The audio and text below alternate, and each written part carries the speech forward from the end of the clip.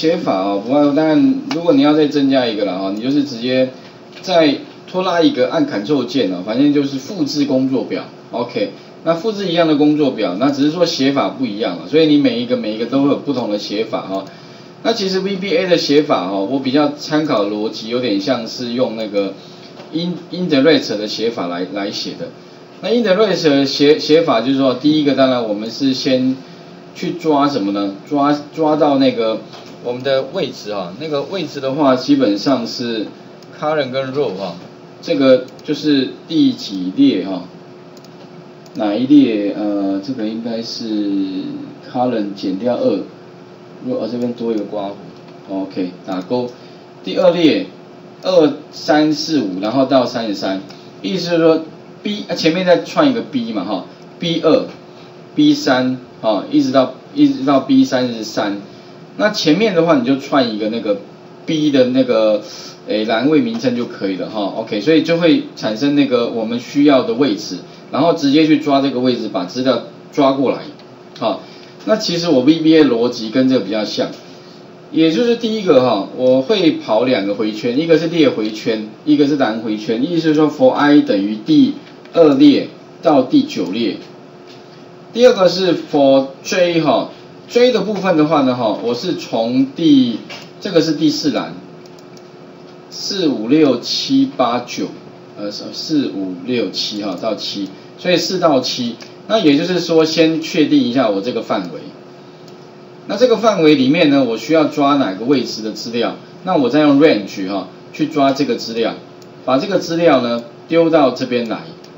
OK 哈，那这个地方大概逻辑是这样。然后我们怎么样去撰写这个 VBA 程式哦？我们先来看一下这个 demo 了哈，VBA 当然一样会有个清除。启用一下清除，然后一个是人事资料，这个是就是把它抓过来，哦，清除。那清除应该不用讲了，清除反正就是里面资料把它清空。这个人事资料程式怎么写哈？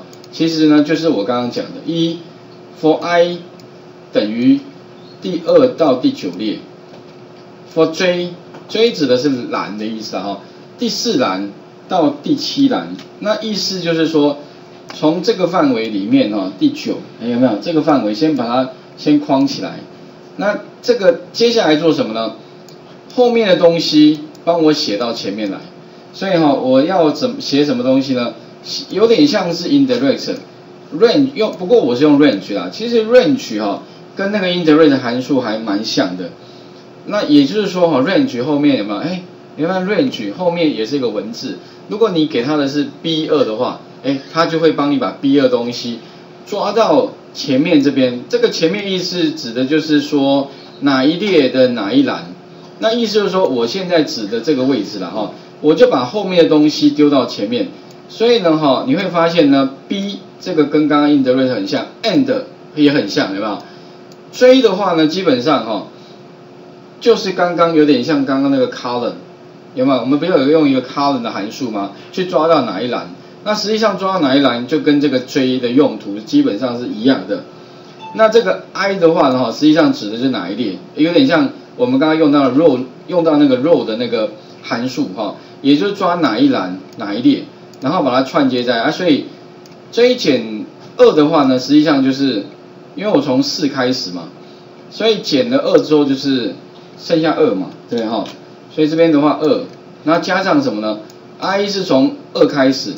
所以二减掉二的话呢，那就零嘛，啊零乘上四还是零，所以串起来就是 range b 二，哎啊 b 二不就是抓这个资料，抓到哪里呢？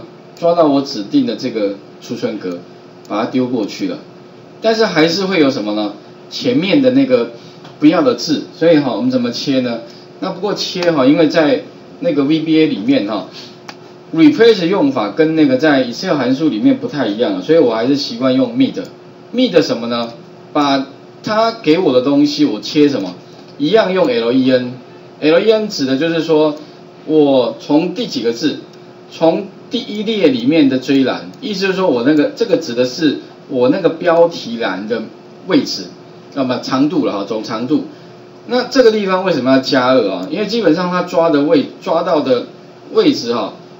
你还要再往后一个冒号，再加上后面那个字才是，所以这边会是加二哦。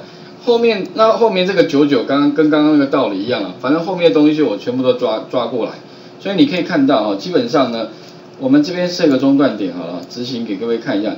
基本上呢，这个 IJ 指的是第二列的第四栏，就是这个储存格，放什么东西呢？把后面这一串计算完等于二，就是 B 二嘛，哦，所以把 B 二东西先丢过来。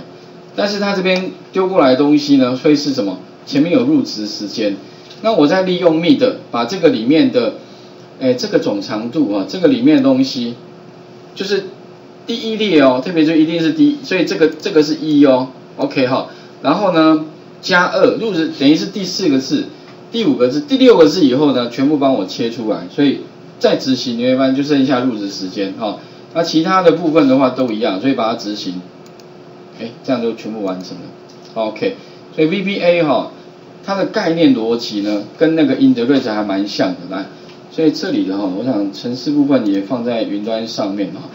那 这个给各位参考，来画面先还给各位一下哈。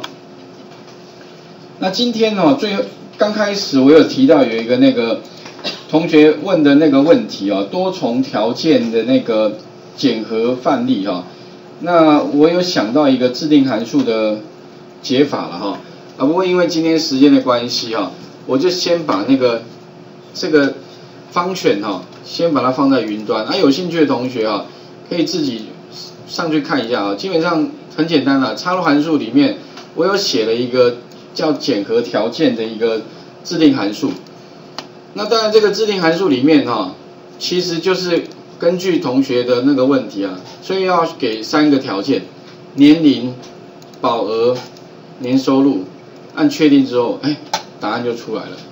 然后我试过了，应该完全符合那个同学要的那个逻辑，只是说呢，他写出来的东西哈，真的逻辑非常的多。主要是这这一串，那么方选哈，那里面的话基本上先判断什么，它是不是大于二十岁，二十岁以上跟以下分成两个部分，然后呢，在二十岁以下哈，又分成是不是十四岁以下，跟十五到二十岁，那另外的话二十一岁、四十一岁跟六十六岁又分成三个逻辑，那分别判断，不然说真的哈，你如果用 Excel 里面的函数哈来做。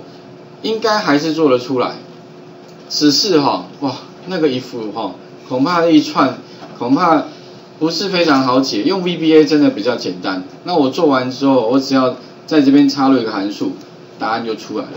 好，提供给各位参考。因为今天时间关系哦，我们就先讲到这里。好，那下一个礼拜哈，我们大概有在一个段落了哈，然后我们再来圈选一下哈。看几题吧，哦，OK，好，而且我回去的话还是尽可能的哦，云端上面都有各位上课之前我们上课的相关的资料，还有影片的哦，那回去还是要稍微看一下。我今天先到这里哦。